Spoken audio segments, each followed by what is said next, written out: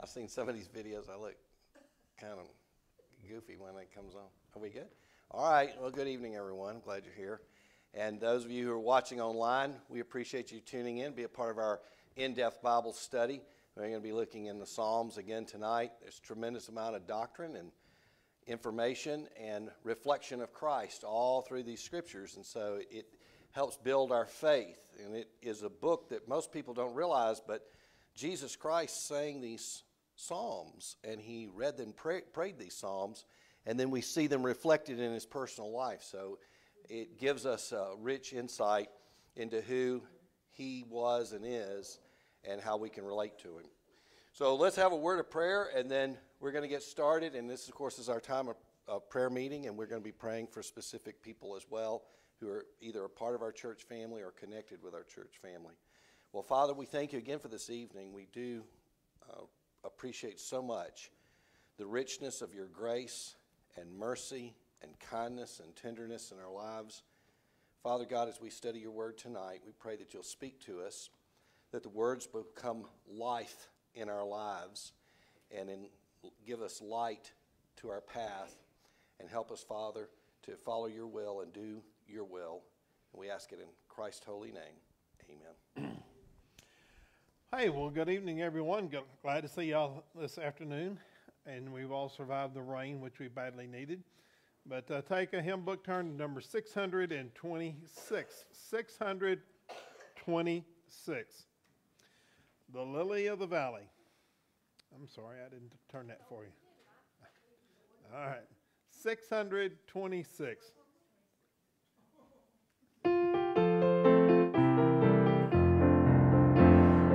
Found a friend in Jesus. He's everything to me. He's the fairest of 10,000 to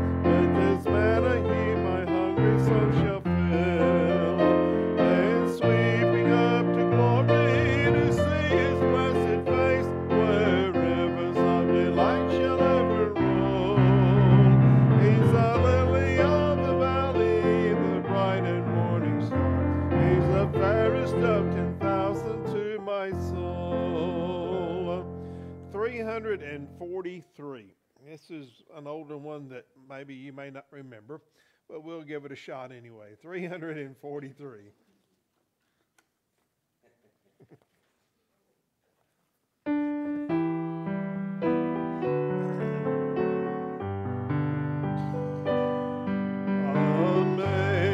Amazing grace,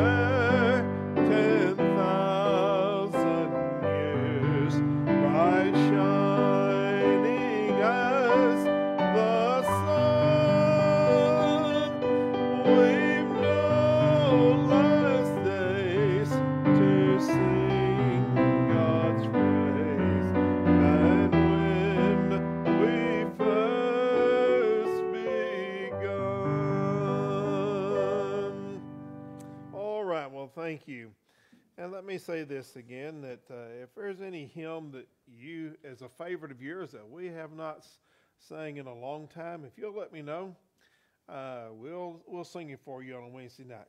Uh, please be glad to do that for you. All right, well, first of all, let me say thank you to everyone that was a part of providing food for uh, the Roberts family, for Miss Vera Hughes' family. Uh, very uh, beautiful service for the homegoing of Miss Hughes this morning at, at uh, 10:30, and then there's probably uh, 40 people at David and Cheryl's house this afternoon, and some of you braved the rain. Uh, now then, Shan and Lanita, they waited till the rain stopped. Nora got there about the time it was pouring down at the house there, but they are very, very thankful, thankful for uh, our love and support of our church family. And again, thank you to each one of you and those that may be at home online that provided provided food today as well. Thank you, thank you so much. David and Cheryl and, and their extended family are extremely uh, grateful. Um, talked to Donna this morning, and Donna Putnam was supposed to see the doctor today, and if all was going well, Donna is supposed to go home tomorrow. And uh, uh, she, of course, she has two broken bones, one in her hip and one in her spine, and uh, she'll be on a walker at home probably for around uh, another four to six weeks before she'll be out and around. Of course, talking to Donna, it's on her left side, and she says, "Well, I really don't use that to drive." And well, Donna, maybe you may not need to be driving, okay? But continue to pray for Donna, and I pray that uh, she does get to go home tomorrow. Uh, the friend of ours, uh, Miss Patsy, uh, had that has the blood disorder. Uh, she is in the hospital now. Her heart has been in AFib for probably now five or six days, and they cannot get it back in in rhythm. And um, she's having a reaction to the medication, so she covers uh, our prayers. So uh, that's her name is Patsy Barnes. Rex. Did you? Bruce doing okay? All right. Well, I know he has good days and bad days, and hopefully we can see Bruce here again uh, soon at church. I got a message from Donnie this afternoon, and he is has suffers from migraines, and he's in the midst of a bad one, and uh, wants to let everybody know that uh, that's why he's not here tonight, and he covets prayers for uh, being relieved of some of that pain. Uh, so that's why Donnie's not here tonight. Thank you for praying for Karen Gurley. That is Lori Williams' sister. She did get relatively good news for somebody who's being diagnosed with breast cancer. She got good news last Friday, and that it's been in the early stages. Uh, the procedure will be minimally invasive, and they don't think that they'll have to do chemo. So that is an answer to prayer, and thank you for praying for Lori's sister. Uh, her husband, Trey Gurley, that has uh, a stage four lung cancer, the seizure that he had last week that lasted for 35 minutes are related to tumors that have now spread to his brain, and there's not much that they can do for him. Uh, Cindy, any update on Alvin?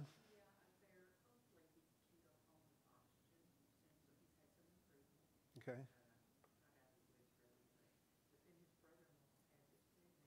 Oh. Okay.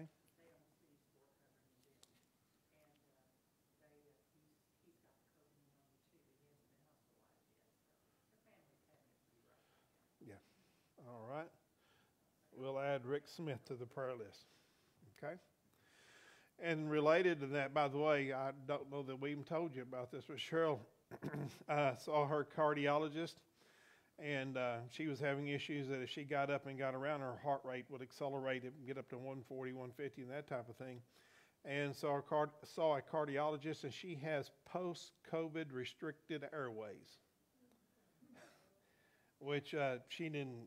I've never heard of that one before, but anyway, uh, they they're using her nebul, uh, not nebulizer, her inhaler, and it's breaking that up, and her blood pressure is normal, and uh, her heart is not accelerating. So the doctor said that they're seeing a lot of this.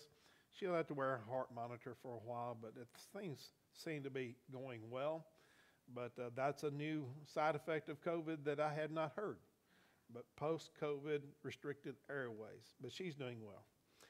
I talked to Linda Hood. Linda continues to make progress. She sounds good, uh, but they're still, I think, having issues regulating her medication, and uh, they will not let her drive. So that's the update that I have on Linda.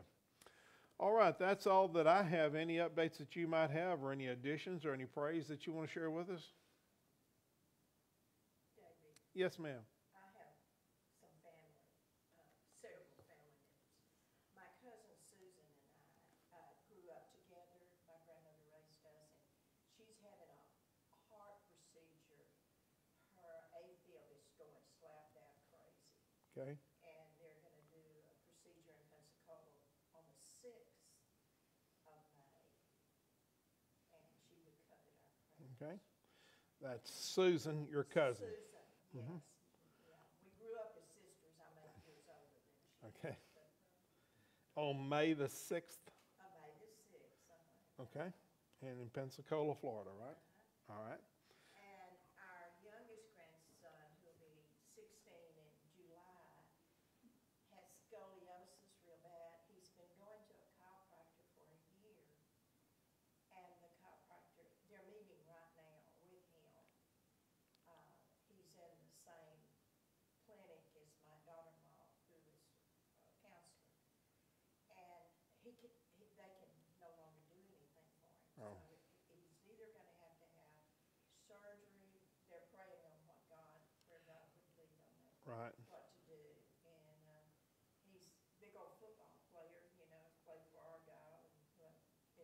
We'll, track we'll forgive him for that, but okay. Okay. And also, I haven't talked much about this, but our family's having a lot of problems. We, our family's split now, and it looks like it's getting worse instead of better.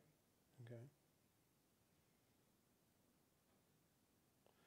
Just family issues, and that's all we need to know. All right. Will do. Anyone else? Pat? I have not heard if they're having a special service for the National Day of Prayer in Denton? I tried to get online and it's going to year two thousand sixteen. I have not heard of anything. Pastor? I've not received any emails or anything, and I, usually I'm on their email list, and I haven't heard a word. But I know that it's tomorrow, is it not? No, it's May sixth, May sixth? reminded me. Okay, yeah, this is still like, yeah, well, I haven't received anything so far. Okay. National Day of Prayer, May 6th. Okay. Anyone else? Okay, let's go to Lord in prayer. Father, we come to you tonight thanking you for the, the blessing of rain today, and Father, the, the um, fresh air. Uh, Father, for the green grass. Uh, Father, thank you so much. Father, we thank you for our church family. We thank you, Father, for the way they respond to our church family when there is a need. Father, we say thank you to each and every one that uh, helped with the food for the Roberts family.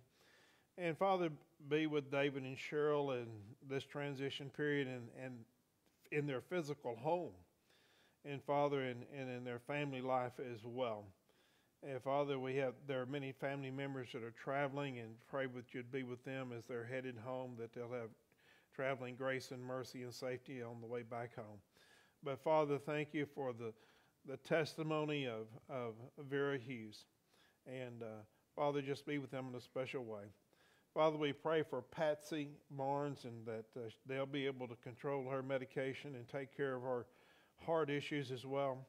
Father, we just pray that Donna will be able to go home tomorrow, that she'll, she got a good report from her doctor today, and for her healing. And Father, we just pray that we'll be able to see her back in church soon. Father, we pray for Karen Gurley that uh, the procedure will, uh, the doctors perform will take care of the, her issue with the, her cancer. We pray for her husband as he's dealing with lung cancer. Father, we pray for the Rogers family and the Smith family as they're dealing with COVID. And then, Father, for Linda, we miss her at church here. We thank you for her great spirit and just pray that the doctors be able to regulate her medication. And then, Father, we pray for Susan. We pray for Shan's cousin there, Father, that will be having that procedure on May the 6th, that we pray for healing in her life. And for their grandson, Father, as they're seeing a surgeon and, and doctors on how to handle the scoliosis. And Father, again, we pray for the family issues there in the Longley family that, Father, that you would intervene and that there would be reconciliation, Father, and there, there would be peace and agreement and love uh, within that family. Father, we thank you for Plainview Baptist Church. We look forward to this coming Lord's Day. Uh, it'll be a great day here in, at Plainview. And Father, we're thinking ahead about Mother's Day and how that we might celebrate mothers and cherish them and, and think back and reflect over what they meant to us. And Father, we thank you for godly mothers and, and, and our country needs godly mothers now raising their children and being a heritage to their families. And then, Father, we thank you for Brother Tim and his family. What a blessing they are to our church. Thank you, Father, for them. Be with him as he speaks to us tonight and teaches, and be with him, Father, as you give him a vision for what this church can be in this community. Father, again, we thank you for your blessings and just ask you forgive us where we come, have come short. And uh, Father, just uh, that bless the ministry that this church has, this community. In Jesus' name we pray. Amen.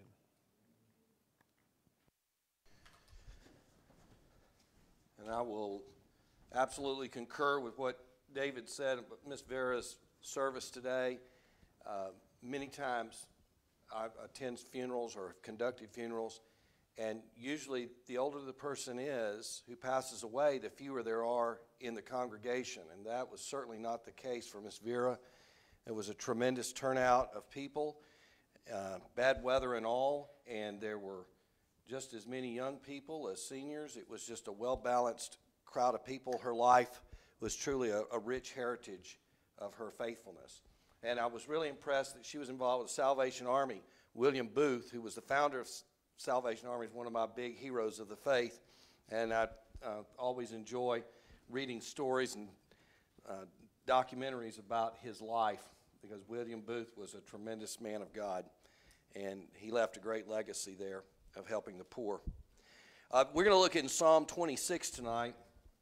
And Psalm 26 is one of those hymns and psalms that is a very direct, uh, challenging psalm for all of us, but it's also one where David is very confident in his faith and in his strength and his relationship with God. The key word that you're going to see uh, in this particular psalm is the word integrity. Integrity is the key. Am I spelling this correctly? Uh, um, uh, Miss Beverly will help me. Yeah. Oh, I got my E and my R switched, don't I? No? No, there's just no R. There. And, and, well, I'm thinking of the word integer. So that's where integrity, gritty, integrity. And that's where we get the word integer, which is a whole number. There's no fraction. And the key to this whole psalm is the word integrity. And it's going to give David a tremendous amount of confidence. Uh, one of the things I always tell young people uh, in, in their teenage years, especially, is that purity is power. And if you keep your purity, it gives you power because what it is, it's an expression of a person's personal integrity. And so, whenever I'm dealing with teenagers and uh, in my youth ministry, I would always reinforce the idea that purity is power. Now, Jesus Christ can restore your purity through your personal relationship with Christ.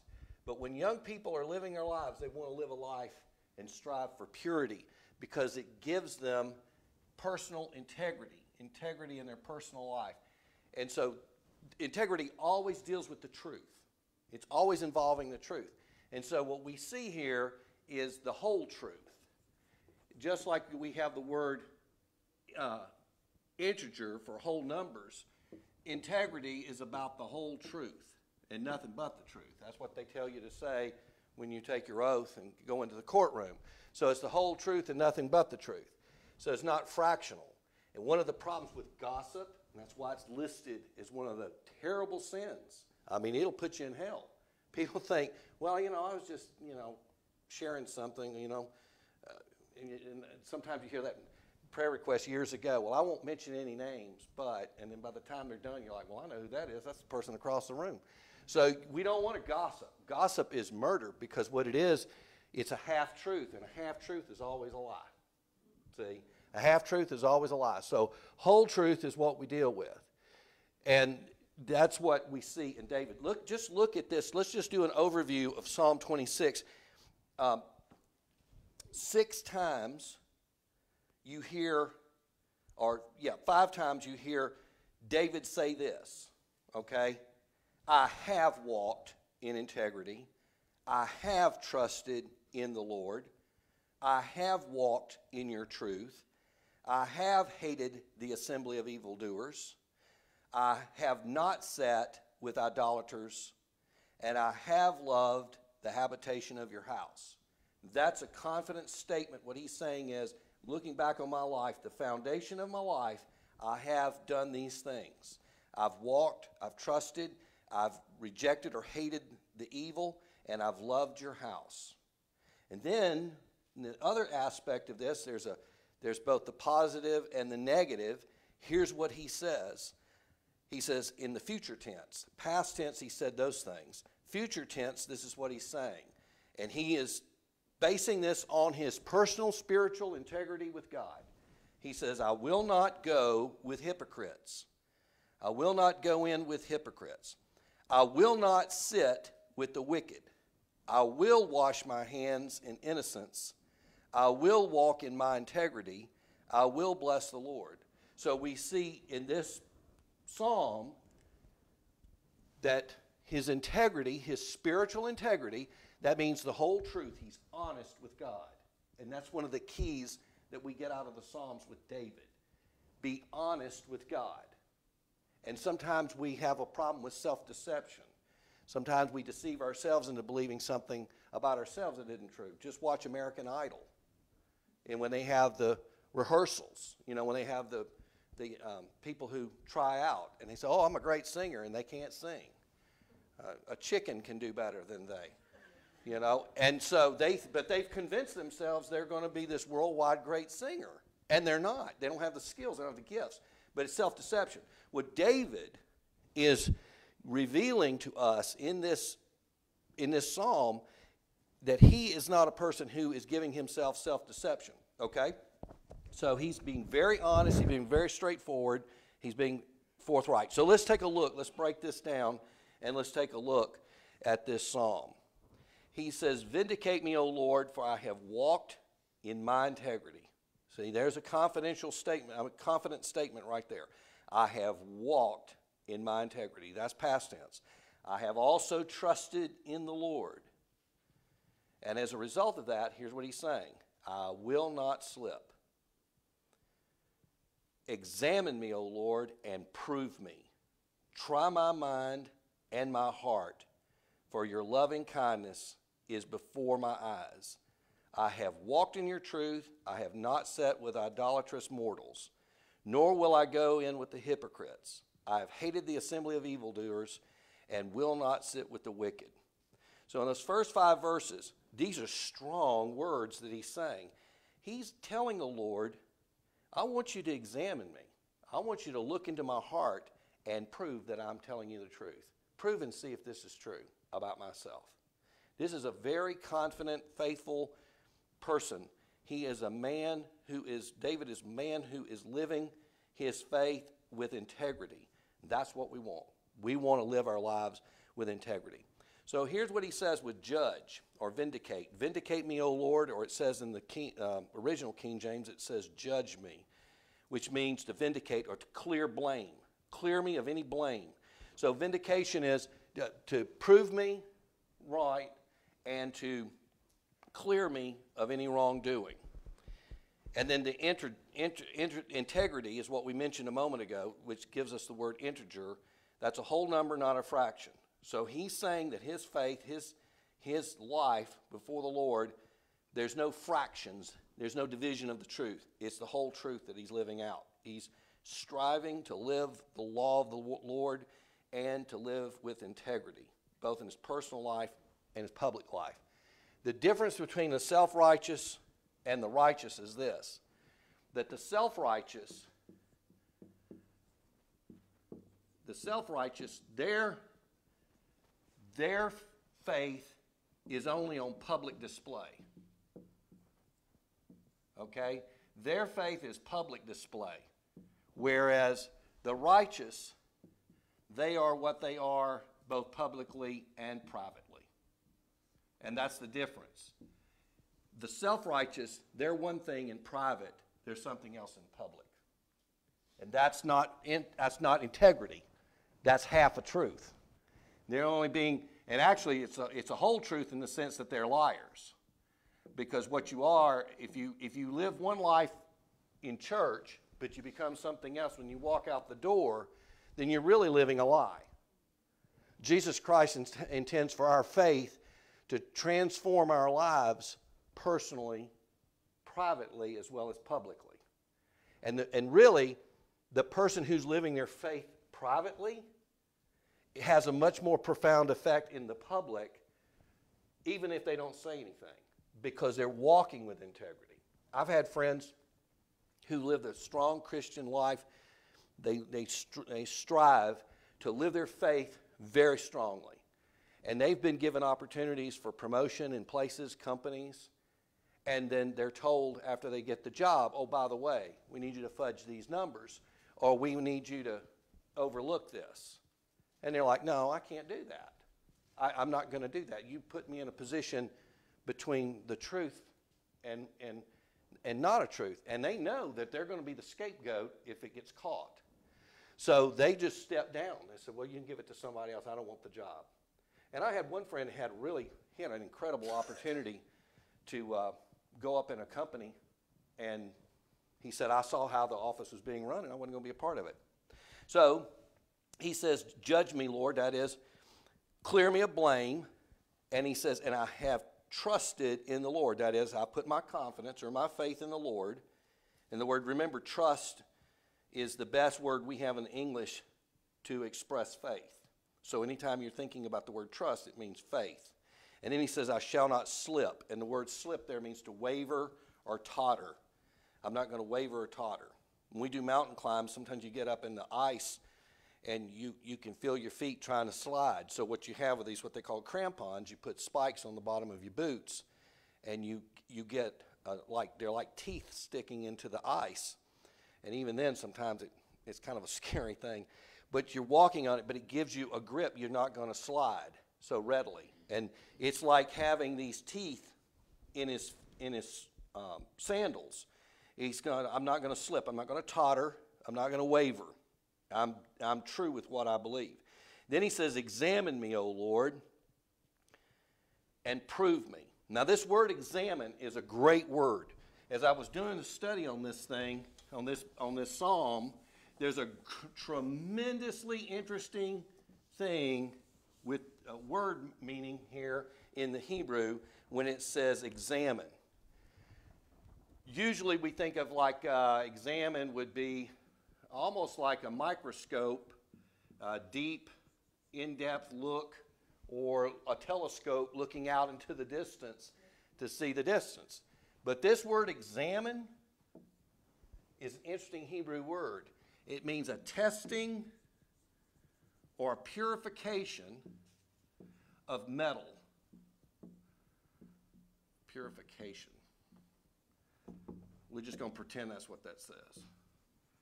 But this is what it means. To examine here is a purific it's a purifying of gold. And it's also the idea of testing it to its breaking point. Uh, my son's a civil engineer, and, and uh, my cousin's son is a civil engineer. And my cousin's son invented this really interesting machine when he was in college. And it was a really cool thing that he came up with. And it was a testing of concrete and rebarb and how much stress it could take before it would break. And they came up with this new concept. And it was amazing how it would test it. And certain rebarb created in a certain type of iron is going to last longer than another, and so forth. It's all about the ingredients in the metal. Well, the pure gold has very little what they call dross, which is the imperfections that come up. When you heat the gold or silver, it comes up to the top. They would scrape off the top, and that's why if you buy gold and you want real pure fine gold, it'll say it's 99.999% gold or whatever. And so it has absolutely almost nothing of impure, uh, impurities in it. Well, here, because of his integrity, because he lives a life fully dedicated to the whole truth, and he's striving to live out the law of God, his commandments, and he's seeking to be truthful in his relationships, truthful with himself. He's, uh, he's being everything he can be with undivided truth. He's saying to the Lord, You can examine me like gold. Put me in the heat and prove me. Bring it to the top, and let's see if there's anything in me that has any kind of problems, things that need to be scraped out, removed from my life. You can examine me. Heat, heat up this metal, Lord. I want to be pure gold for you, is what he's saying. He's saying, I want to be pure gold for you. And there's a word uh, in the Hebrew, it's called assay, A S S A Y, but it's pronounced assay. And this is just that it's a purification and that's what that word prove means. It's a pure, purifying of gold and precious metals. So the word prove is I, I say, which is a purifying of gold or precious metals. So he says, prove me, purify me, make me, make me more. Then he says, try my mind and my heart. Now the word try there is to look into the reins of my mind and my heart. So when you look at the idea of try, it's reins. Now, it's not like pulling the reins on a horse, but actually, in this Hebrew language, it means the choice part or the seat of the emotions or affections. What he's saying is, he says, try my mind and my heart. He's saying, the, the deepest part of my inner self, test it, my mind and my heart. He's looking at his mind and his heart. And when you think about your life, isn't that true? I mean, um, the mind and the heart are really what make you what you are. We have the mind, the will, and the emotions. And so the word, of course, heart includes all that. So we have a mind, the will, and emotions, and the heart is the centerpiece of that. It's the central part. And the Hebrew concept, is that it's all tied to the heart, which refers to all three aspects of us mind, will, and emotions. If you get any one of these out of, out of whack, then the others go down too. Okay? Now, sometimes you'll say, My mind's telling me this, but my heart's telling me this. Okay, so there's a conflict of truth there. And Jesus said, You better be careful what your heart's telling you because it can deceive you. Now, when he says heart, in the gospel there, he's referring to the emotion. He's not talking about the mind, will, and the emotion. He says, Don't trust your heart. What he's saying there, Jesus is saying, Don't trust your emotions. Because your emotions can change. I mean, emotions can be like a thermostat. Sometimes people's emotions get good when they have their happy meal, you know, their comfort food. That's why they have comfort food, right? Ice cream. I'm feeling down. I need some ice cream. You know, that's what some people do. And then what? You get a sugar rush, whatever, then it affects your mind, your will. Well, you what whole truth does, integrity does, it aligns all three of these together. And so your emotions, there's a, there's a time to have strong emotions about things. I mean, even Jesus got angry and he chased, twice he chased him out of the temple with a whip. Because he said, you, You're violating the integrity of my father's house. You've turned it into a place of co- commerce. I, that's not what this is about. This is about a house of prayer. And he went after them. Because they were, they were just making a profit off the name of God. How much of that you see today? When I go into a Christian bookstore today, I just walk past all the trinkets and stuff, and I go back into where they got the study books and the and the uh, the different commentaries and concordances and Bibles, and that's where I go. This business of, you know, a ruler that says, "Do you measure up to Jesus' standard?" You know, don't be a yo-yo for the Lord. I mean, all this stuff. He erases our sins, you know, with erasers. You know, but that's not what Jesus died for. Now, that's fine. You want to give that to a child. But, you know, if you're 45 years old, you're like, I got to have my Jesus eraser, there's a problem. Because we should be moving from the milk to the meat. And what he's taking us to is this deep, deep spiritual things. So he's saying, prove me. Now, then he says, try my mind, that is, test it, and, and bring it about. Then he says, for your loving kindness. Now, here's where we get the reason is because he says, For your loving kindness is before my eyes. Okay? So the reason he's saying, Vindicate me, I've walked in your integrity, I've trusted in you, I will not slip, I will not fall, I will not totter, I will not lose my step. And then he says, You, you, you take a look at me, you test me like fine metal, test me, and see what kind of metal I'm made of, and try my mind and my heart. That means go into the depths of my inner being, my mind and my will and emotions. Because, you know, for your loving kindness is ever before me. Loving kindness means the favors and benefits that come from following God.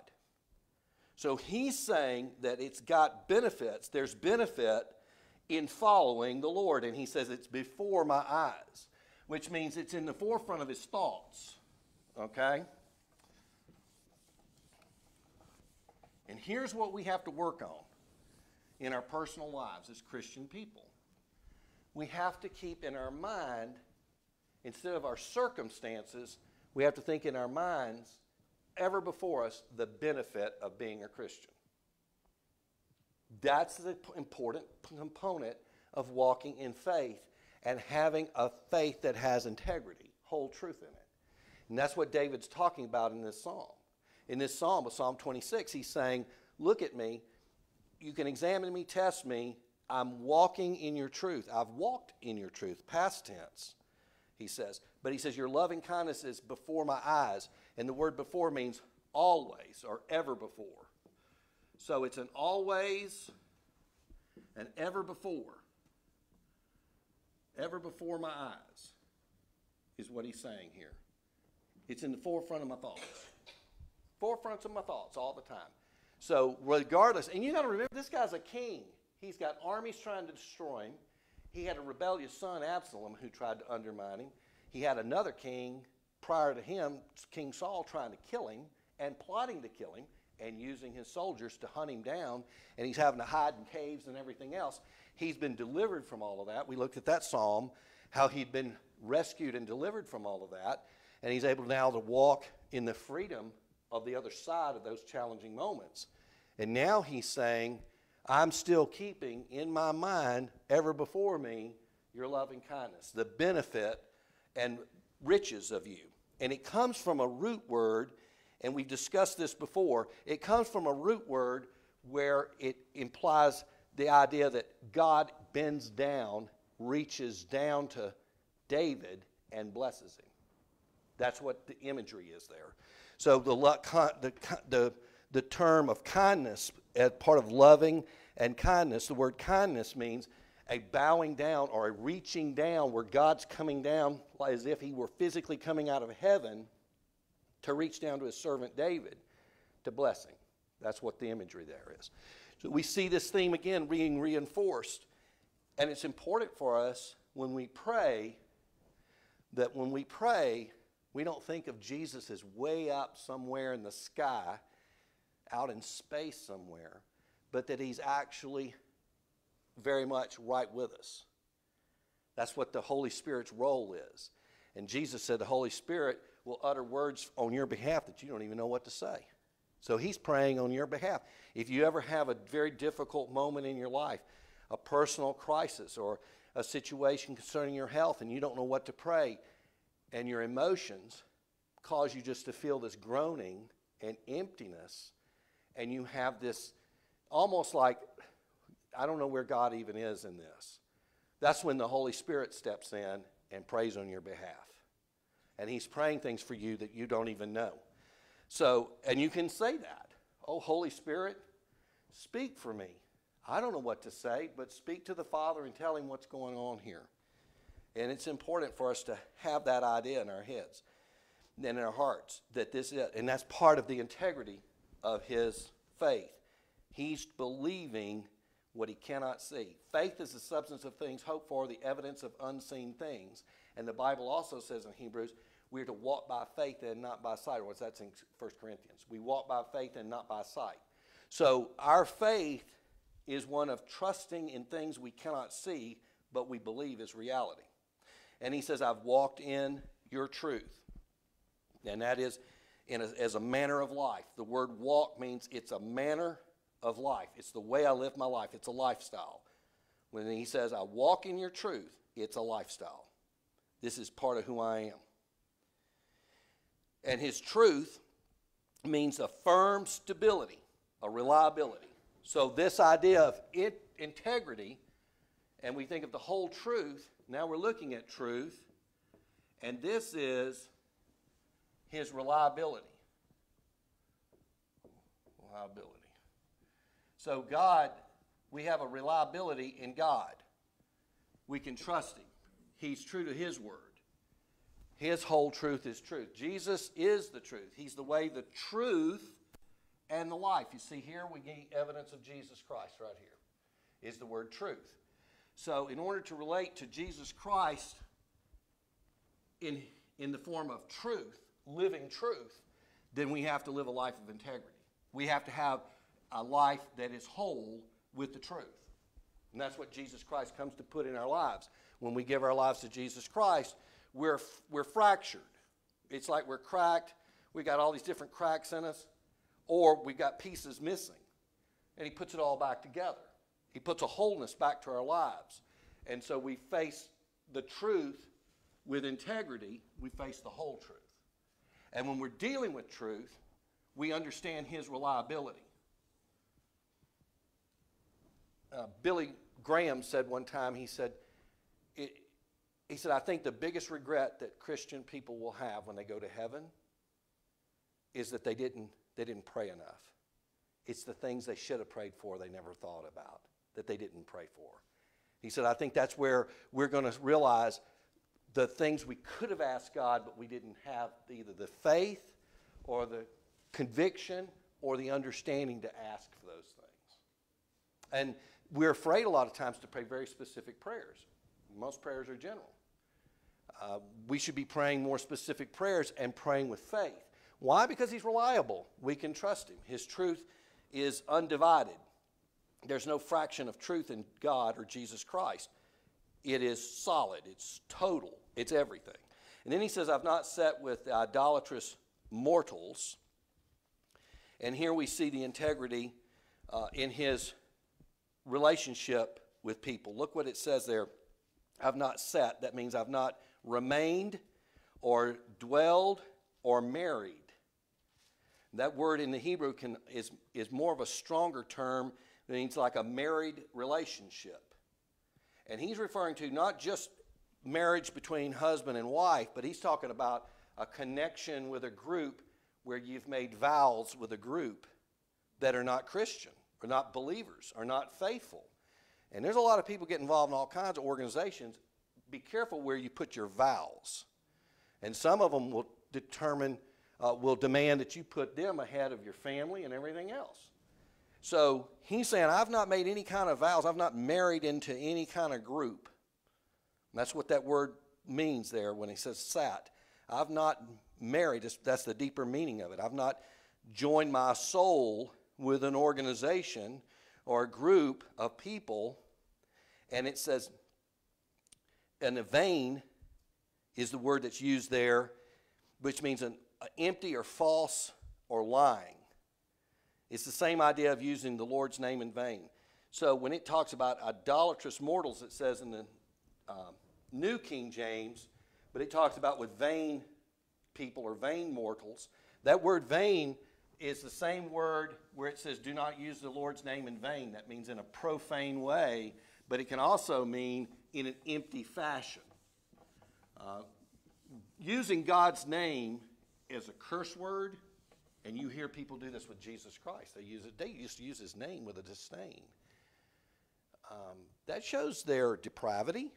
It shows uh, their reprobate mind. And that's what it is. It's a reflection of a reprobate mind. That is, a mind that's depraved. It doesn't have the knowledge of God in a, in a sense of, of repentance. It has a knowledge of God with an attitude of rebellion. And so he's saying here the same word uh, that they're not using vain, that means vanity, that means empty ways. And it's the same word as using God's name in vain, in an empty way. But there are people that you'll also hear uh, that they'll just say things out of habit. You know, well, praise the Lord. Well, did they really mean that, or are they just saying that? Is that a van- that can be using God's name in vain as well? So we don't just throw the name of the Lord around as a cliche or a bumper sticker. He, he, he deserves our reverence and, and our honor that's due him and our worship. And he says, and I'll not go in with hypocrites. And of course, we know what the word hypocrite means. It means an actor. You remember the, the two faces in acting, the smiling, and that's a hypocrite. They're one thing in one scene, and there's something else in another scene, and it comes back to that same idea of coming into his presence with integrity. Hypocrites have no integrity. They're not people who show any reflection of any integrity. And this idea of the vanity, by the way, is like a, a roar of water. It comes from two words. It means a roar of water and a worthlessness, is what that word vanity means there. So these hypocrites, they roar with empty, vain things that have no meaning. They're empty. That's what hypocrites do. And he says, And I've hated the assembly of evildoers. And these are people who are breaking up. They profess one belief, but their opinions and opinions, but they don't, they don't really live them. So the word here of, of these hypocrites and assembly, that word assembly, is an interesting word because it, it doesn't mean just a gathering of people. It's a type of people. This assembly is a type of people. They're dissemblers. They're referred to as dissemblers, actually. It translates in the English from Hebrew as dissemblers. What's a dissembler? This is what they are. They profess beliefs and opinions that they really do not hold to conceal their true belief. Now, how many times have we met people like that? They'll tell you one thing to your face, but they walk out the door and they got a whole different opinion. Yeah, I, you see that all the time. That's a form of hypocrisy. And he's saying these dissemblers of evildoers, he refers to them as evildoers. They're telling you one thing to your face, they're doing something else behind your back. They actually believe something else behind your back. That's what he's calling out here. God is serious about us living the truth. And it's sobering. And Jesus says there's not a single thought or word you have that's not being recorded. Every word will be given into account. That is a sobering thought. And it's the kind of thing that keeps me up at night. I get to think about stuff, roll around and say, well, you know, Lord, years ago I said this. I shouldn't have said it like, I mean, it comes to mind. So, th- but that's a good thing. You confess your sins to the Lord and ask Him to forgive you of your sins. That's a good thing. It's not a bad thing. So when He brings those things to your mind, and then you say, Lord, thank you for your forgiveness. Thank you for your forgiveness. So this is a gathering of people together who are dissemblers. And they're one thing in the, in the, in the congregation or in public, but then there's something else behind your back or in private. And he says, And I will not sit with the wicked. That is, I will not dwell with the morally and ethically wrong, the guilty of spiritual crimes. These are people who are guilty of spiritual crimes. So let's go finish this thing up. I will wash my hands in innocence. I will wash my hands in innocence. Who said that? Pilate said that. Yeah, remember? Pilate said, I'm going to wash my hands of this. I can't find any fault in this man you want me to crucify. And he went publicly and he got a basin of water and washed his hands and he held his hands up and he said, I'm innocent of this man's blood. You see to it. But the truth is, he was just as guilty as the mob because he gave them what they wanted. Had he stood for the whole truth, had Pilate had integrity, he'd say, We're not going to crucify this man today. You're going to have to prove to me why we need to crucify him. I need proof why he needs to be crucified. He didn't do that. He didn't hold to the whole truth. He gave in to the mob. What do we see in our country today? Same thing. People are giving in to the pressures of the mob, what they want. And as I told you, Soren Kierkegaard, a Christian philosopher, said, The crowd is untruth. The crowd is untruth. You cannot believe the truth. Look at the mob that wanted to stone the, the woman caught in adultery. And what did Jesus do? He's, he, he's the only one who can diffuse a mob. You can't control a mob. You can, you can surround them by the military, the police, but they are in, they're, you cannot reason with evildoers. When they're bent on something and they have something they want to do, you can't reason with them. That's what happened in Sodom. When the, when the angels came and they came to the door and they said, Lot, where are those men? We want them. They were going to rape those angels. That's what their intentions were. They were, they were vile and violent. And he said, No, you can't have them. Here's my two virgin daughters. You can have them. And then what happened? They said, We're going to do worse to you than them if you don't let us have them. That was an evil mob, and it took the angels to blind them. And even then, they were so bought and caught up in their evil that they were groping around the darkness trying to find the handle to the door to get in. That's how just completely engulfed they were in their depravity. Well, Jesus is the only one that ever diffused a mob. There was a mob that was going to stone this woman to death, and they said, We caught her in the very act of adultery. My question is, where's the man? Just the woman. And my other question is, what were they doing? They had been looking in the window. It was a setup. But they were going to use her to try to trick Jesus, and Jesus diffused the whole thing by confronting them what? With the whole truth. Because what did he say to them? Okay, you without sin, you cast the first stone. And he said he began to write on the sand. Some think, people think he wrote the Ten Commandments. Some people think he thought he wrote specific sins that those men had done. But whatever he was writing in the sand, it said they all began to drop their rocks and walk away. And he's the only person we have on record who could diffuse an entire mob. Because nobody else can do that. But why? Because he confronted them with the whole truth. The, a, a truth of, with integrity.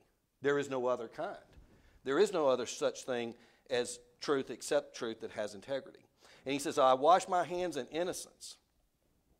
Pilate couldn't do it because he gave in to the mob. He didn't have the ability, but the, the idea of washing goes way back. You had Naaman in 2 Kings 5.14. He was told to wash in the river Jordan, and he was clean of his leprosy. Jesus washed the feet. We talked about that. There's an idea of, of and concept of cleansing. The physical washing is a representation of the spiritual condition. And what he says is, I will wash my hands in innocence. Well, there's only one source of innocence for us that we can be washed in, and that is the blood of Jesus. It's his blood that washes us in innocence. The baptism doesn't wash you of innocence, the baptism is a representation of everything that happened to you. It's simply a symbolic statement that says, I was buried with him in baptism, raised to walk in new life. I was, I was resurrected by the power of Christ. The water also represents the flood or the baptism of blood, that you've been covered in the blood of Christ. You've been completely covered in Him, and He makes you white as snow. He washes you.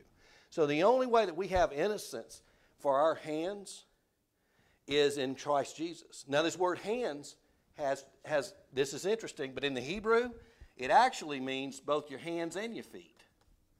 And so when Jesus was washing the feet of his disciples, that's, this, that's again a reflection of a servant serving people, but your hands and your feet are two expressions of what you do. Your mouth is the other one. What we say, what we do with our hands, and what we do and where we go with our feet is, is basically the testimony of our lives. Because whatever we're saying, whatever we're doing with our hands, and wherever our feet are taking us reflect who we are. And if we're living a life of integrity, then we have the grace of God to give us clean hands and clean feet and clean words to say and do what we should be doing. And he says, I wash them in innocence.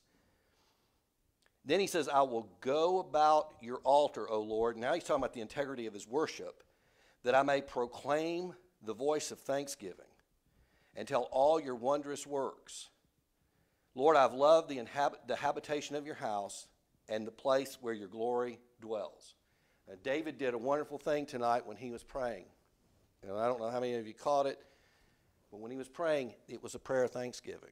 He prayed a lot of thanksgiving tonight. There were requests, but it was mixed with what? Thanksgiving. Because thanksgiving gives us the right attitude as we enter into prayer. Because thanksgiving first recognizes, we, it, it creates in us a humble spirit because it says, You've already benefited us so much. Now, when I come before you with a prayer request, I want to let you know, Lord, I appreciate what you've already done. And if you answer this, answer this prayer accordingly to what I would like, thank you. If you don't, thank you because you've already benefited me so much. That's where he comes back to that con- the idea of for your loving kindness is before my eyes in verse 2. Now we see the voice of thanksgiving. So we see in his eyes, he sees the benefits of following the Lord. And now, with his voice, he's telling others, he's proclaiming the benefits that have been already bestowed. So we're blessed. And he says, And I'll tell all your wondrous works, that is, things only you can do, Lord. And look what he says, past tense I have loved the habitation of your house. Don't you love coming to church? I can't imagine people without church. It's great. It's wonderful. And so when I come in here and we see, we sometimes we have new faces in here, sometimes we have lots of familiar faces in here, but there's something about coming into the house of the Lord. And you know, I haven't been here that long, but I feel at home. I've heard many of your names out there. The Shiflet name, we heard that as soon as we moved into town. That's a name that we knew. And then my son started going to school with one of her grandsons, and that's a name we know. So when we walk in the door, oh, I know that name. So there's a connection. But we all know each other because of what? Jesus. We're brothers and sisters in the Lord. And so it's a beautiful thing to come into the house of the Lord. Occasionally I go into a house, house of worship, a church, and I'm telling you, it's like a funeral home in a bad way. They're having a funeral service for Jesus every Sunday and not a celebration of an empty tomb. And that's what Christ is. He is a representation of life. He's brought us forth, He's brought us back to life. So being in church is a good thing. It's a, it's a home, it's a place where we come and celebrate. And that's what He's saying. He says, I loved the habitation of your house, which means I absolutely adored it. I can't get enough of it. I need to be in the house of God. He says, and the place where your glory dwells. So there are places where God's glory dwells, not always everywhere. The glory of God is not made known by emotion, but it's made known by worship. And emotional worship is not always a reflection of the glory of God. You can go to a big praise rally, but the glory of God is not really there. It's focused on something else. It's focused on the band or the music or whatever. But what he's saying here is, is that your glory dwells. That means it's there all the time. It's, it's, it's constant. It sits down upon that house of worship. So we're blessed to be here. And then he says, Do not gather my soul with sinners. Now we're going to look at the integrity that he has with the world. Do not gather my soul with sinners, nor my life with bloody, bloodthirsty men, in whose hands is a sinister scheme, and whose right hand is full of bribes. Now, here's a reflection of where we are as a nation today. There's no doubt about this. We have a nation now that celebrates sinners. That is, people who violate or go against the will of God. They lack integrity of the truth. One of the things that's one of our greatest challenges today as a nation is we're not getting the whole truth any longer. There was a time when you could turn on the news and you say, well, I, you know, I know this guy's got a certain opinion or he's got a certain commentary on a certain idea. Uh, he's against this or he's for that. You could kind of filter that out. Now, they just don't tell you anything. It's just, they tell you one headline, and even that's misleading. And it's not just secular news, I'm finding in some Christian news circles as well. I subscribe to all kinds of different Christian news circuits, and some of them are, it's just, it's just there's no whole truth to it. They only tell you what they want you to know. So the whole truth, and who can trust this? No one. And so our soul, our nation is, is always had sinners, but now we have sinners that are so deep in sin that they no longer understand what the truth even is. They distort it. Now they just outright tell us lies. And this is just going on further and further. And, and what they're trying to do is convince everybody of these lies. And you see a lot of people tuning out. Then he says also, my, my life is not with bloodthirsty men. And that means people who have violent cravings. And again, this comes from the concept of an idea of an animalistic mindset. Just like we mentioned a minute ago about Sodom. There's a animalistic mindset. And then, in whose hands is a sinister scheme? That is, they're scheming. They're always planning something, and it's sinister. It's not good. It's not honest. And the reason it's not honest is because they're not dealing with integrity. They're not dealing with the whole truth. They're scheming things, and they'll take a bribe. How many of us seen that? These judges are bribed. These people are getting free, getting set off, getting set free. Well, look what happened when, when the virus first started. People forget this. They opened up the prisons and let no telling how many people out. Especially up in New York, Manhattan, they turned those people loose. Well, they're on the streets, and now they're causing chaos. And it's like saying, okay, now you go back and try to fetch them and bring them back in. And now they've tied the hands of the police. So it's kind of like you had a bunch of chickens in a chicken house, and then somebody opened the door, let them out, and then they want somebody else to go out and try to gather them back up, and they're scattered all over the place. You can't get them back in. Well, there's, there's these bloodthirsty people out there, and there's also fewer and less um, consequences of their bloodthirstiness. And so he says they have sinister schemes. There's schemes going on in this country right now. You better believe it. They'll tell you you're conspir- conspiratory, that you believe in conspiracy theories has nothing to do with conspiracies. It has to do with the truth, the whole truth. And there's a lot of people who'll tell you, well, you're just a you know, conspiracy guy. No, I'm looking at it in the lens of whole truth. And the whole truth says, you're telling me lies. And if you're telling me lies, you're covering up something. You've got some other agenda. And people are being bribed all the time. That is, got their hand out, taking money. And then finally, this last thing, he says, but as for me. Okay, so at the beginning, he says, You can judge me, you can look at me, you can vindicate me. He said, But as for me, this is his benediction. I will walk in my integrity. So it starts with integrity and it ends with integrity. He says, I have walked and I will walk.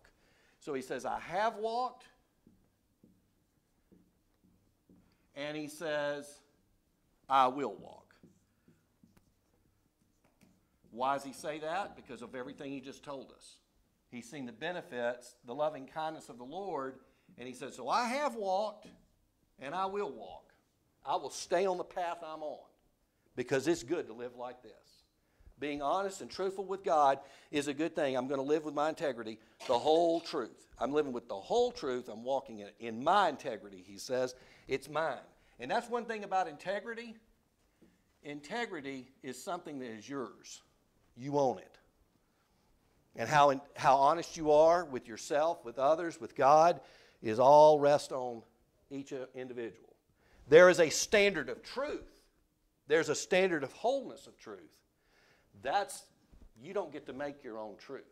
Truth is truth. We don't get to do that, but we own it, what we do with it. So when we have the truth and it's been revealed to us, what we do with the truth determines what we become. And when we've been told the truth, then it's up to us to live it out. And then he says, Redeem me and be merciful to me. The word redemption is just that it means to take and repair or make new, redeem me. That is, pay my ransom, is what this word redeem means. Pay my ransom and be merciful to me. So he says, even in my integrity, I've got, I've got a price on my head. I'm still a spiritual crim- criminal. So ransom has to be paid, and we know where the ransom was paid at Calvary. Jesus Christ. He pardons our sin. Our ransom was paid. And we hear this in our hymns all the time. The word pardon is mentioned in several hymns. The word ransom is mentioned in several hymns, especially songs that have to do with the cross, because that's a recurring theme. There's a ransom, there's a price to be paid for our sin. And someone had to pay the price. Christ did that. He redeems us. And He's merciful to us, which means, again, the same thing with loving kindness. He stoops down to help us. What did God do? He sent His Son here. He came down to be among us.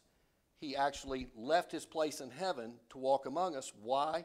To redeem us, to pay the ransom, to pay off the ransom, a debt that we could not pay, a debt we owe but was too much for us and too great for us to pay. And He says, and again, you look at this, it goes back to verse 1, verse uh, uh, 12 goes back to verse 1. He says, My foot stands in an even place. So he says, I shall not slip in verse 1. He closes off with, My foot stands in an even place. That means it's a smooth place, it endures on a level, straight place. And that word stands means to endure. So my foot has an enduring place, an enduring spot, a place that's safe and a place that's trustworthy. It's a, it's a, it's a spot that you can put your foot on and you don't have to worry about slipping and falling. You will not teeter or totter and fall off. And then finally, the last thing is this in the congregations, I will bless the Lord. In the congregations. Now that's interesting, he has a plural there, and here's why. So the congregations is plural. What kind of congregations he's talking about? Well, he's certainly talking about the congregation in the temple, but he's also talking about the congregations in the synagogues all over the countryside, and we see Jesus going both to the temple and into the synagogues across the countryside, but there's one other, and it's the congregation in heaven. So he's saying there's, there's the earthly congregations that we're going to worship and serve, and there's a heavenly one, an eternal one. So we have an earthly, we have an earthly place, an earthly home, earthly worship house, and we have an eternal one. That's heaven. And that's why it's so, the precision of what David says in these Psalms is incredible. You cannot make this up. It has to be spiritual. It has to be the Holy Spirit that gave him the insight because who else would put a plural except the Holy Spirit? He's telling us you have earthly synagogues, worship, churches, synagogues in David's day, churches for us. That's our earthly home while we abide here, but we have an eternal congregation waiting for us who will be a part of it. And the word there also emphasizes the idea of a choir or a singing, blessing congregation. The word bless there is the word that is connected with a choir. That is a singing or blessing of the Lord. So the congregations, I will be in the choir of the Lord. And we're all going to sing. And none of us are going to be off key. So, so we see the integrity in David's heart. We see the integrity in his relationships. We see integrity in his worship. We see integrity as he relates to the world. And we see integrity that brings him to heaven. And that integrity for us is found in Christ. Well, Father, thank you again for this evening, and we thank you for your word, and we thank you for David's wisdom, his insight, his gifts, his understanding, his knowledge, his just depths of understanding. Help us, Lord, to have that same kind of walk with you, that we'll have a confidence in our walk with you, and that you will enlighten our hearts, bring joy to our hearts and minds, and that we'll live with a wholeness of the truth, with no division. Help us, Lord, to strive for that, that you would test us the way you tested David, and where we are fault, find places that need correction, Lord, show us that correction. We ask it in Christ's name. Amen. All right. Thank you all so much for being here tonight.